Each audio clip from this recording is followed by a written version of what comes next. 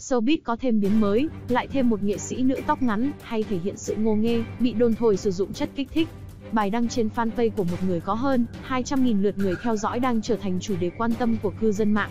Mới đây, một fan ghép của một nhân vật khá nổi trên mạng xã hội là NS đã đăng một bài viết khá dài liên quan tới chủ đề các nghệ sĩ showbiz sử dụng chất cấm. Cụ thể, bài đăng này cho biết anh cảm thấy rằng việc các nghệ sĩ, ca sĩ sử dụng chất kích thích bây giờ không quá to tát. Nguyên nhân là do mọi người chưa từng hình dung được những hệ lụy của nó. Tôi không biết ngành giải trí của Việt Nam có vươn mình ra thế giới và sánh vai với các nước có ngành công nghiệp giải trí lớn trên thế giới hay không. Trước mắt tôi thấy nó biến chất đến lạ.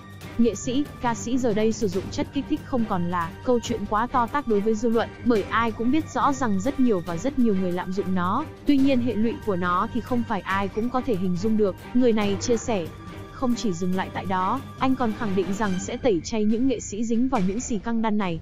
Cuối bài viết của mình, người này còn tiết lộ rằng anh còn biết một nữ nghệ sĩ tóc ngắn, cũng sử dụng chất kích thích. Tôi còn biết một vài cô cậu nghệ sĩ, có những cô còn nổi tiếng hơn hai nghệ sĩ trên rất nhiều cũng sử dụng chất kích thích.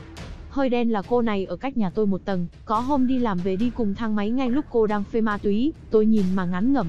Cô có mái tóc ngắn lên game show hay thể hiện sự nai tơ và ngây thơ ngô nghê ấy, Bài đăng úp úp mở mở của người này nhanh chóng trở thành tâm điểm quan tâm của dư luận với 200 lượt chia sẻ và gần 2.000 lượt bình luận. Có khá nhiều cái tên đã được đưa ra, nhưng tất nhiên sẽ chẳng ai dám xác nhận điều gì. Không rõ thực hư của thông tin này, thế nào nhưng ngay chóng có rất nhiều cái tên được đưa ra.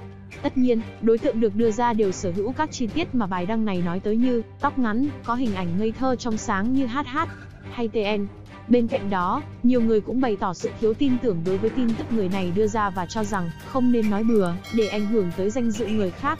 Trước đó, vào đêm 30 tháng 5, trên mạng xã hội đang lan truyền một bức ảnh của một diễn viên, nghệ sĩ tên D, cùng với thông tin anh sử dụng chất cấm, bị một người chơi cùng chụp lại và gửi ra ngoài. Không những vậy, người chụp hình diễn viên D Bay lắc còn tung tin nhắn tiết lộ với bạn bè rằng trong cuộc vui này còn có nghệ sĩ hải tên T và ca sĩ tên H đi cùng. Ngay sau vụ việc, nam danh hài Trấn Thành đã lên tiếng và khẳng định mình bị vu khống và bôi nhọ. Anh đã ngay lập tức liên hệ tới pháp luật để làm đến cùng sự việc đòi lại công bằng cho mình.